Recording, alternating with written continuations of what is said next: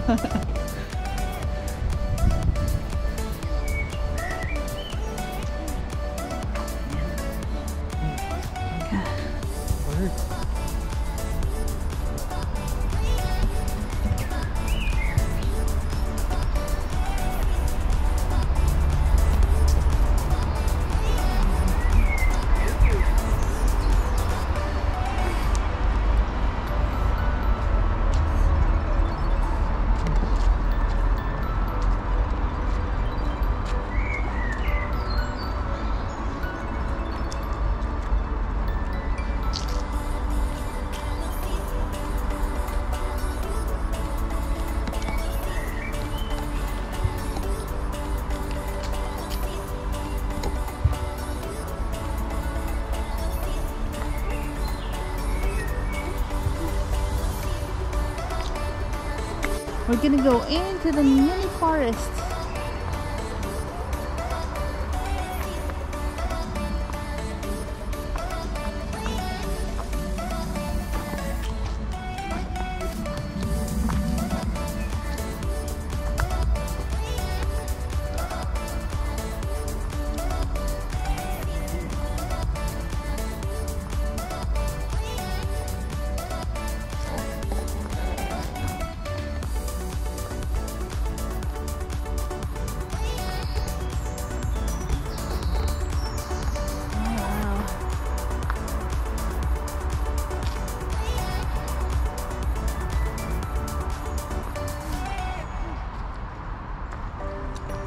It's a huge tree.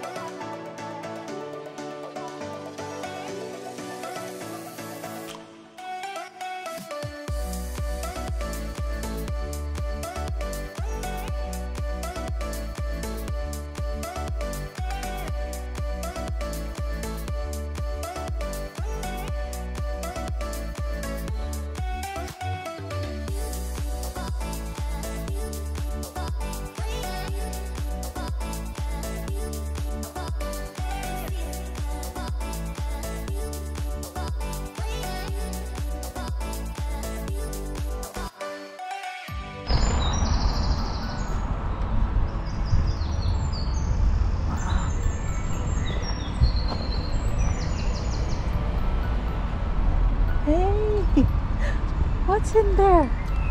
Oh wow.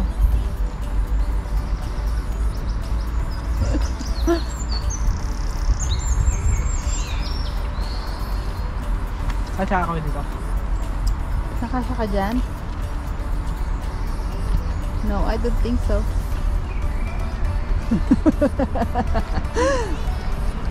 but it's actually, there's a hole in, in the middle.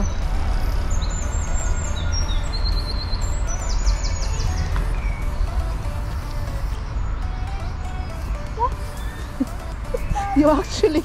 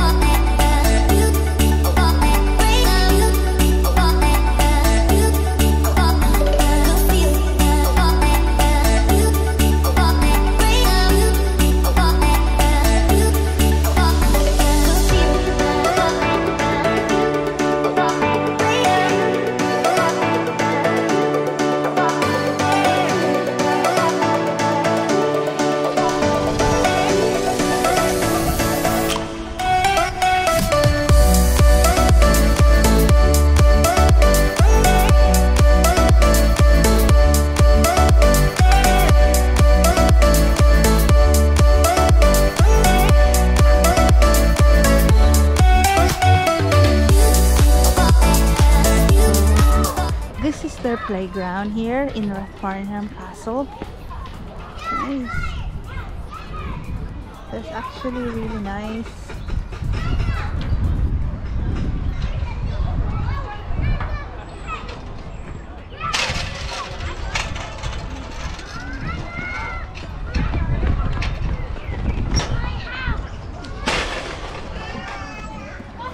Now, where do you want to go, Emmanuel?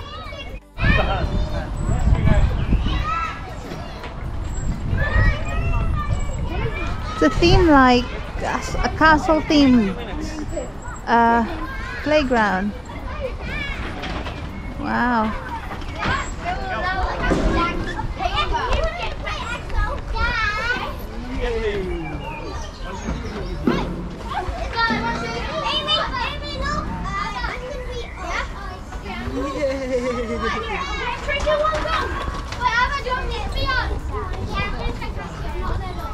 Don't send the age, okay?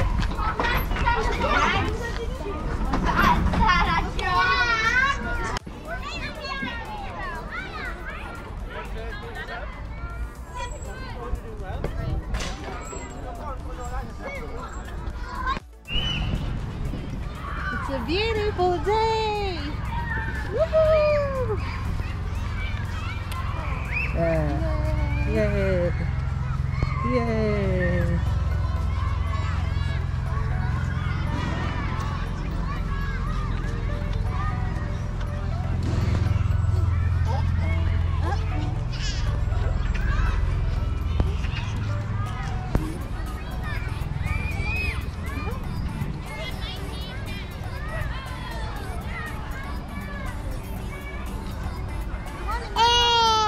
Yay! Yay! Yay!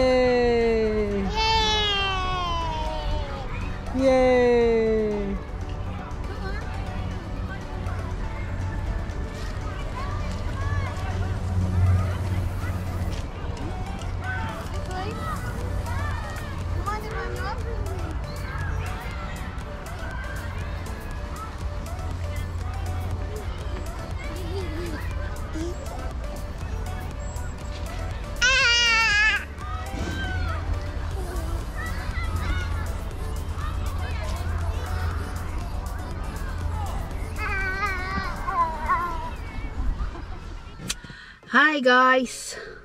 Hello. Yun lang yan? Walang energy? Hello. Say hi, Emmanuel! Hi! Ayan, so uh, we just finished um, seeing the Rathfarnham Castle. Um, all in all, uh, napakaganda rin ng castle na to. Uh, napaka-simple lang, napaka-child-friendly ng uh, place. Napakaganda nung um, playground nila. Ginawa nilang uh, castle theme yung mga playgrounds para sa mga bata.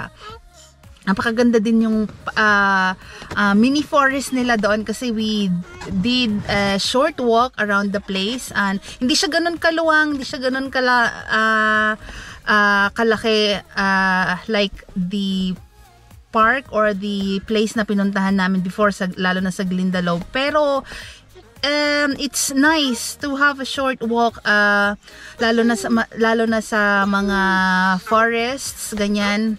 Napakaganda kasi makikita mo yung mga fresh green uh, green grasses leaves and everything. So uh, it's a must see and place na lugar if you are uh, trying to look for a place na pwede nyong dalhin yung mga anak ninyo for fun and adventure as well. So, uh, it's very accessible as well sa mga manggagaling ng uh, city center, especially here in Dublin kasi uh, it's only in Rathfarnham so you can take number 16 bus coming from city center or um, I think some buses uh, pass by as well like 75 from Dunleary at saka 49. I'm not sure but uh, you can look it up. Um, ayan, maingay na ang aming kasama.